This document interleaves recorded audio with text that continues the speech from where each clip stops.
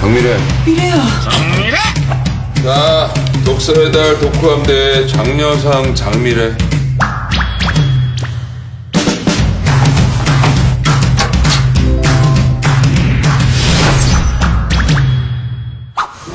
내 주변엔 다 내 편이 아닌 사람들만 있는데.